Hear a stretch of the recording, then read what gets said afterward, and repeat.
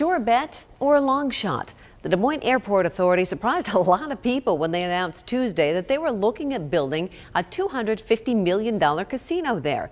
As KCCI senior reporter Todd Magel shows us, those plans face a lot of hurdles. Well, Stacy, we talked to all the players today. The Clive Airport expert behind the idea says it's the perfect solution to help pay for a new $500 million airport terminal. But critics wonder if the casino idea can ever really take off. It is challenging. I absolutely agree with it. And that's the reason I think uh, I'm doing it. Reggie Sinha has a dream, and this is it a proposed $250 million hotel and casino planned for the Des Moines airport.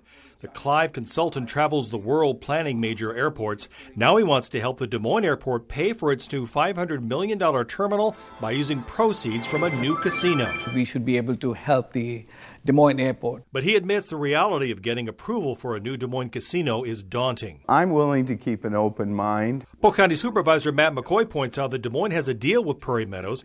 The Altoona Casino and Racetrack now pays the city $6 million a year.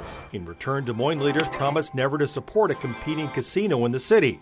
McCoy wonders if Prairie Meadows would want to share its gambling dollars. What we don't want to do is, is uh, kill the goose that laid the golden egg.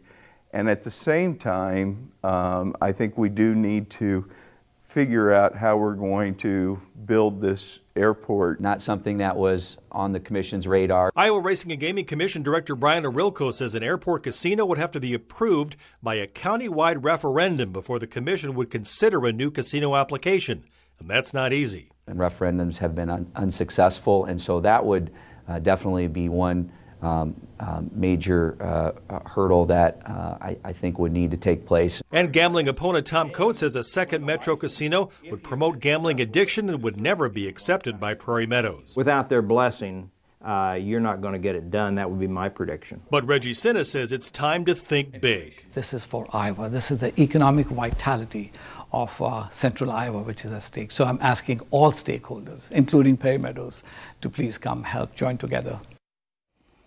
Now, Reggie Sinha is partnering with Wild Rose Casinos on this proposed airport casino project. Prairie Meadows, by the way, did not want to comment today. The airport board will take a closer look at the airport casino plan and possibly vote on the idea at its meeting next month. Steve?